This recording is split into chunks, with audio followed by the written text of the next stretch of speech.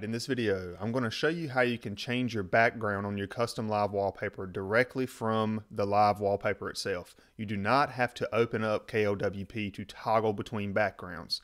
For example, here at the bottom, I have four backgrounds that I can toggle in between.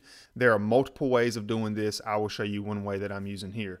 So I can toggle between these static wallpapers. All of these static wallpapers that you see here, the one with the black hole, the hexagon, and now we see Darth Vader, these were downloaded from the Zedge app that you can get on the Play Store. You can download these for free and use them on your custom live wallpaper. And then uh, I also had this live wallpaper that I've created where I can I have a little heartbeat going across the screen and I can actually change the colors of the heartbeat itself. So, you know, now as you can see down here, I have a little toggle. This toggle is green, and if I tap it again, it's going to change the heartbeat to a blue. Now both of them are black, but maybe if I want to uh, change this one now, I can have a black heartbeat with a red background. So this one's changing the heartbeat, and this one is actually changing the entire screen itself. So with all that said, let's go ahead and get started. So this one will not take a lot of work. Inside of a blank preset, let's go over to globals and let's go ahead and add your bitmap images that you want for your background. And I'm going to title these BG1, BG2, BG3, and BG4. I'm going to add four background images.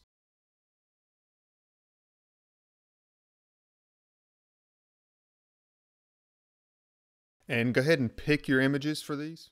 And now what you want to do, uh, one way to approach this is how many ever images you have. Let's create a list global and let's call it bgnum. And inside of this list, let's just put the numbers 1, comma 2, comma 3, comma 4. Basically what we're going to do here is we're going to have a way that we can toggle through this, and that's what's going to happen here, so that we can go from BG1 to BG2 to BG3 to BG4. Now you could do this different ways again, but this way is easier to edit. If you go back and add more backgrounds, um, you can just simply come in here and add more numbers to toggle between those. So I'm going to go ahead and set this to one, that BG num list global. And now what we want to do is go over to our background, or you could actually apply this to just a static image without directly being inside of your background. I want to change this type to image. And for the bitmap, I'm going to apply code to it.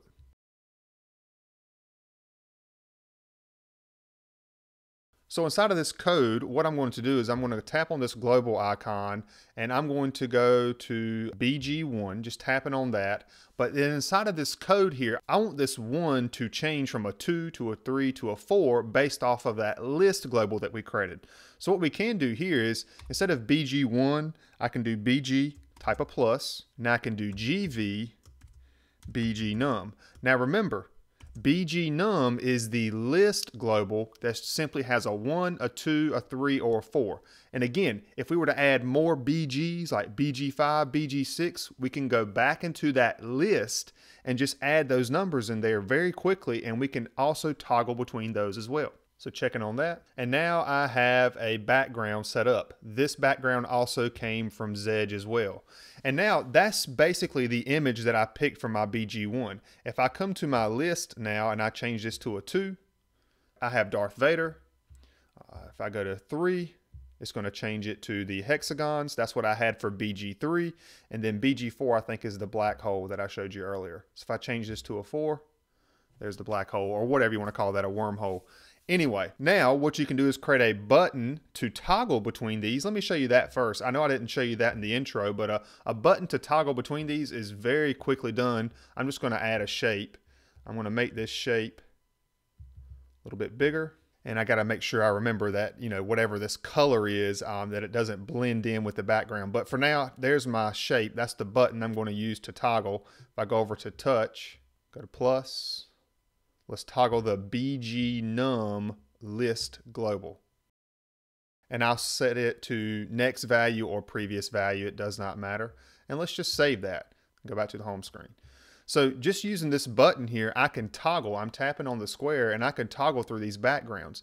That's one way that you can do it. And then the other way is maybe you want to see, and like I showed you at the beginning, I had all of those backgrounds showing at the bottom of the screen, and I wanted to click on the actual image that I wanted to set it to. That's what I'm going to show you now. So again, that's just one way, creating a quick button that you can tap on to toggle through those wallpapers.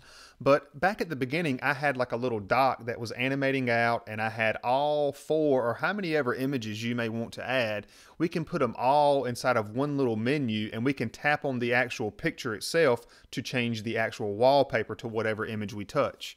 And I'm going to delete this button that I just showed you there and I'm going to add an overlap group. I'm not going to focus on the animations here. I mean, I have plenty of videos on animations. I just want to show you how we can do this slightly different to where we can see each individual image and we can tap on that image to apply it to our custom live wallpaper. So I'm going to add an overlap group. Inside of this overlap group, I'm going to add a rectangle just to kind of serve as a background so that I can put all of my images on top of it. That shape's going to be a rectangle. I'm going to make it the width of my screen using the SIR width function. So now I have a rectangle that's the width of our screen. I'm going to make the height a little bit taller and I'm going to position this entire overlap group at the bottom of the screen. All right, now again, I'm not going to focus on animations. Obviously, this is blocking out the bottom part of the wallpaper, but inside of this overlap group too, I'm going to also add a stack group and inside of this stack group is where I want to put rectangles that are going to be our images. Now I prefer to use rectangles and setting a uh, texture bitmap to them. That way all of my rectangles will have the same size. So again, inside of this stack group, let's add a shape. I'm going to add a rectangle. And what I'm going to go ahead and do is I'm just going to give it uh, some height and I'm going to go ahead and give it some width uh, just to get some type of dimension to it. And I'm going to go straight to its FX. I'm going to go to texture set it to bitmap, and I'm going to automatically set this one to whatever BG1 is. So just like that, we have that BG1, that uh, multicolored image that you saw a moment ago. Again, all these can be downloaded from Zedge using the Zedge app. And then what I want to do here with this image is I want to go to its touch, go to plus, and let's toggle the global switch BG num but let's set it directly equal to 1 since this is BG1.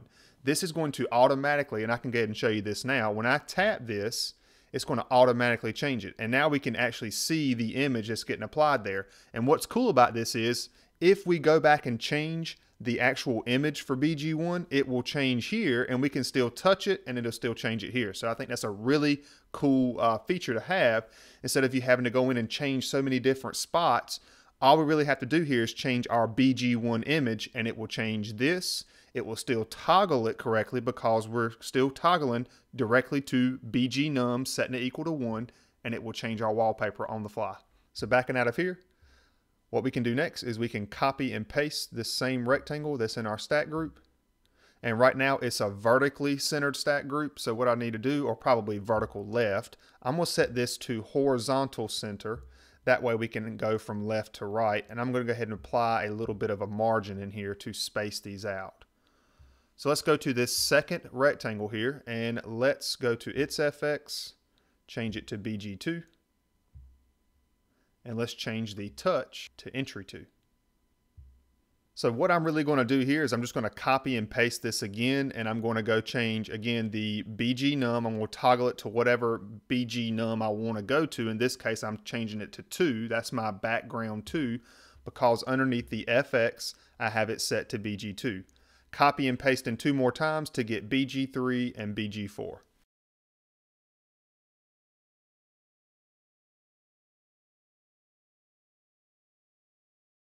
And just like that, we have all four of our images down here. If we save this and we go back to the home screen, of course, that's going to be blocking the bottom part of our image. But now I can tap, and I know that I'm going to get Darth Vader here. I can tap the hexagons, and I know I'm going to get the hexagons. I can tap this wormhole image, and I know I'm going to get that. And we can go back and forth between these in any order that we want. And as I mentioned earlier, back when I first created this rectangle, we can change the BG1 or BG2 or BG3 or 4 or how many ever you may have. We can change that bitmap global and it will update this little image here. And I'm going to show you that right now real quick to round out this video. So back inside of my globals, I'm just going to uh, tap on the BG3. That's going to change this hexagon that we see down here. So down here, it is a different image that has been picked. And if I tap on that one now, notice it did change. And all I did was change the BG3 image. And here we have another uh, background of Darth Vader. In this case here, also this wallpaper came from Zedge, the app on the Play Store as well. So I'm gonna uh, pause the video here or conclude this video here. We will talk about changing colors. We'll come in here and add some text items to this custom live wallpaper. And then I'll show you how you can create toggles so that like, you know, here, maybe a, a gray or a white or something like that would be good to show the time. But then if we go over, I don't know, to this one, maybe you want something to be like a more of a blue, uh, transparent kind of color or whatever. I'm going to show you how you can toggle those colors directly from your custom live wallpaper as well. And the whole point of this is to keep us from having to go back into the advanced editor to change these things. That way we can be right on our custom live wallpaper. We can tap whatever image we want. And ultimately in the next part, we will be able to toggle some colors. That way we can uh, get a nice look uh, directly without having to open up the advanced editor. And there you have it. That's how you can toggle backgrounds on the fly directly from your custom live wallpaper. And that's it for this video. I hope it helped.